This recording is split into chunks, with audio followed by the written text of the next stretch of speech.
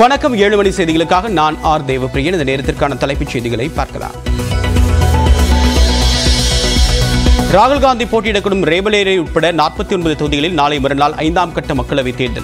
இன்று மாலையுடன் ஓய்கிறது அரசியல் கட்சிகளின் தீவிர பரப்புரை.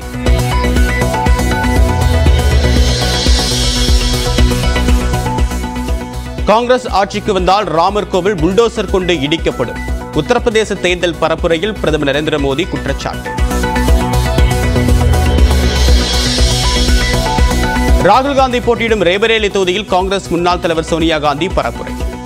தனது மகனை ரேபரேலி மக்களிடம் ஒப்படைத்ததாக பேச்சு.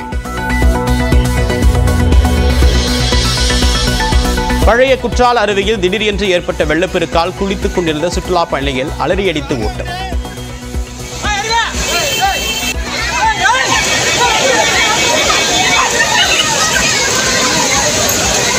தம்பி ஆபத்தில் சிக்கியிருந்தவர்களை துணிச்சலுடன் மீட்ட மக்கள்.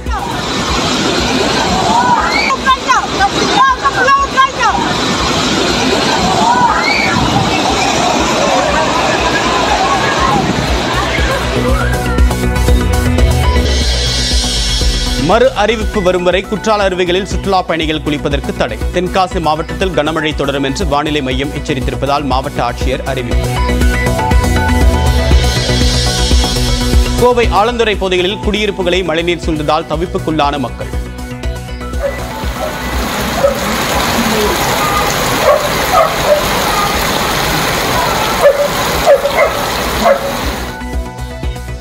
திருப்பூர் அருகே திருமூர்த்தி மலை பஞ்சலிங்க அருவியில் ஏற்பட்ட வெள்ளப்பெருக்கால் அமனலிங்கேஸ்வரர் கோவிலுக்கு செல்ல பக்தர்களுக்கு தடை.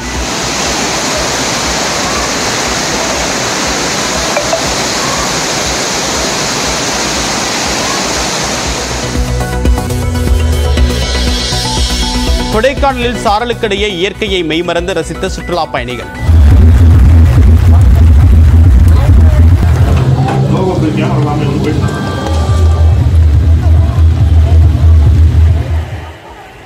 கனமழை எச்சரிக்கையால் மூன்று நாட்களுக்கு உதகை வருவதை தவிர்க்க சுற்றுலா பயணிகளுக்கு நீலகிரி ஆட்சியர் வேண்டுகோள். சேலம் தேனியில் பரவலாக கனமழை. திருப்பத்தூரிலும் பெய்த மழையால் மக்கள் மகிழ்ச்சி.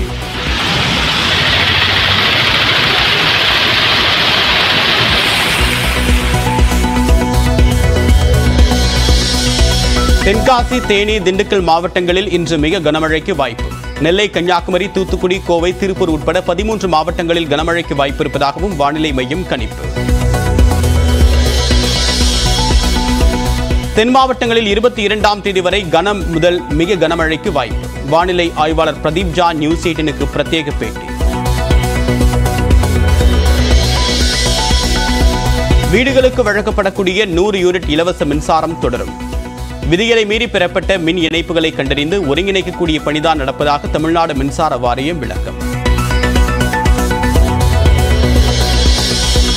வேலூர் ராணிப்பேட்டை திருப்பத்தூர் மாவட்ட திமுக இளைஞரணி நிர்வாகிகளுடன் ஆலோசனை மேற்கொண்ட அமைச்சர் உதயநிதி ஸ்டாலின். அனைவரும் ஒற்றுமையாக பணியாற்ற வேண்டும் என்று அறிவுரை. நீட் வினாத்தாள் கசி விவகாரத்தில் தேசிய தேர்வு முகமைக்கு உச்சநீதிமன்றம் நோட்டீஸ்.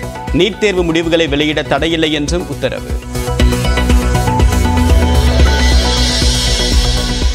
ஸ்வாதி மாலிவாலை பகடைக்காயாக பாஜக பயன்படுத்துவதாக ஆம் ஆத்மி குற்றச்சாட்டு. கெஜ்ரிவாலின் உதவியாளரை காப்பாற்ற முயற்சி நடப்பதாக கூறிய சுவாதி மீது பிப்ளவ் குமாரும் போலீசாரிடம் புகார். லக்னோ அணிக்கு எதிரான ஐபிஎல் போட்டியில் மும்பை அணி பதினெட்டு ரன்கள் வித்தியாசத்தில் தோல்வி. மூன்று ஆண்டுகளில் இரண்டாவது முறையாக புள்ளிப்பட்டியலில் கடைசி இடம் பிடித்தது. மேற்கு தொடர்ச்சி மலைப்பகுதிகளில் பெய்த கனமழையால் பழைய குற்றால அருவியில் திடீர் வெள்ளப்பெருக்கு ஏற்பட்டது. இதனால் சுற்றுலா பயணிகள் அலறி அடித்து ஓடிய நிலையில் காட்டாற்று வெள்ளத்தில் சிக்கிய சிறுவன் உயிரிழந்தது சோகத்தை ஏற்படுத்தியுள்ளது.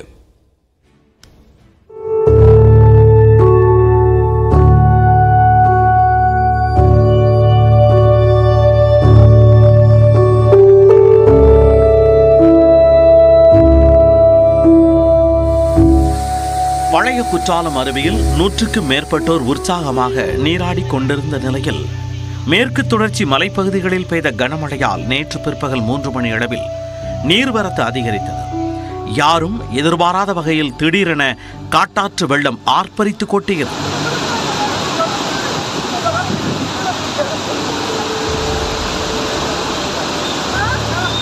இதனால் அருவியில் குளித்துக் கொண்டிருந்த மக்கள் அலறி அடித்துக் கொண்டு ஓடினர்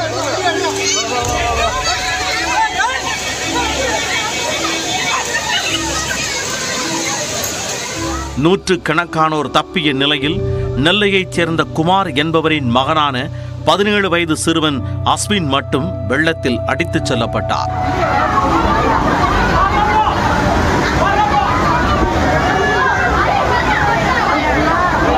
உடனடியாக அங்கு விரைந்த தீயணைப்பு துறையினருடன் வனத்துறையினர் மற்றும் ஆயிரப்பேரி கிராம மக்கள் இணைந்து சிறுவனை சடலமாக மீட்டனர்.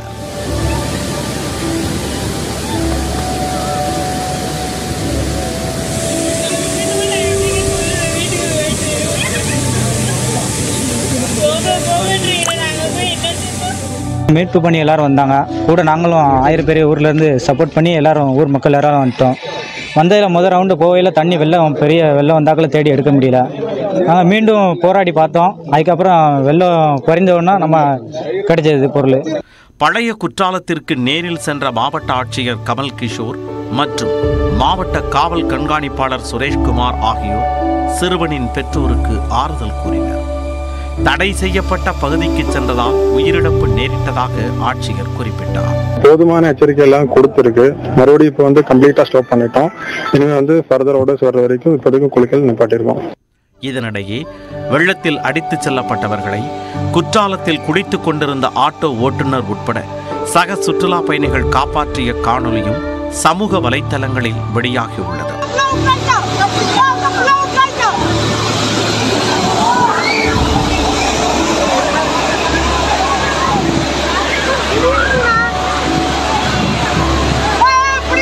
வெள்ளப்பெருக்கு காரணமாக பழைய குற்றாலத்தில் சுற்றுலா பயணிகள் நீராட தடை விதிக்கப்பட்ட நிலையில் சில மணி நேரங்களுக்கு பிறகு தண்ணீர் வரத்து இயல்பு நிலையை அடைந்தது.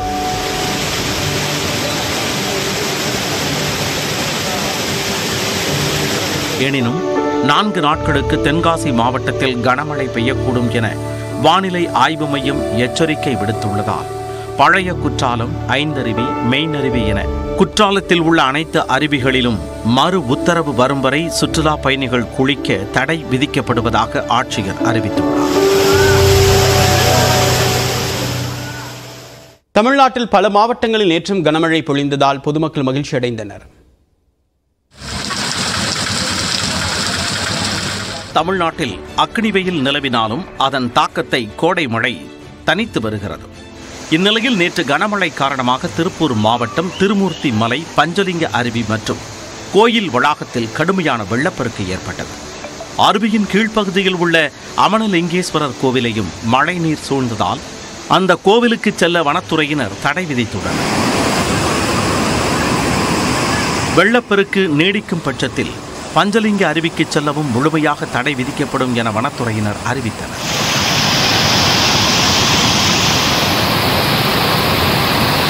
கோவை ஆலந்துறையை அடுத்த செம்மேடு கிராமத்தில் இரண்டு மணி நேரமாக கனமழை பெய்தது. இதன் காரணமாக குடியிருப்புகளில் தண்ணீர் சூழ்ந்தது.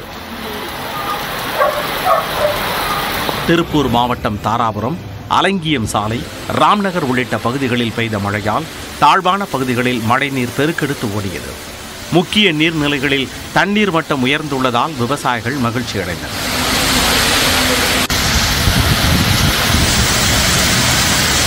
நெல்லை மாவட்டம் மணிமுத்தாறு அம்பாசமுத்திரம் பாபநாசம் உள்ளிட்ட பகுதிகளில் ஒரு மணி நேரம் கனமழை கொட்டியது. இதனால் தாழ்வான பகுதிகளில் மழைநீர் தேங்கி நின்றது. கரூரில் ஐயர்மலை சத்தியமங்கலம் தண்ணீர் பள்ளி உள்ளிட்ட பகுதிகளில் இடி மின்னலுடன் கனமழை கொட்டியது. ஐயர்மலை ஆர்டிஓ அலுவலகம் அருகே வறண்டு கிடந்த பகுதிகளில் திடீரென வெள்ளம் கரை புரண்டது.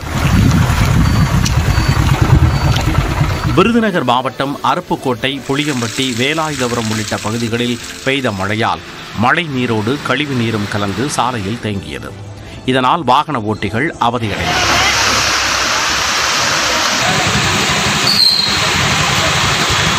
சேலம் மாவட்டம் கெங்கவல்லி தம்பம்பட்டி வீரகனூர் உள்ளிட்ட பகுதிகளில் பலத்த இடியுடன் இரண்டு மணி நேரம் மழை வெளுத்து வாங்கியது.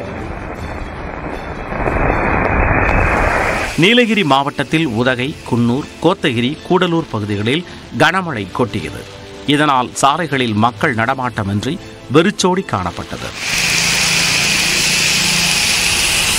கிருஷ்ணகிரி மற்றும் நாரலப்பள்ளி வேபன்னப்பள்ளி ஆலப்பட்டி சூளகிரி உள்ளிட்ட பகுதிகளில் நான்கு மணி நேரம் தொடர்ந்து கனமழை பொழிந்ததால் சாலைகளில் வெள்ளம் பெருக்கெடுத்து ஓடியது.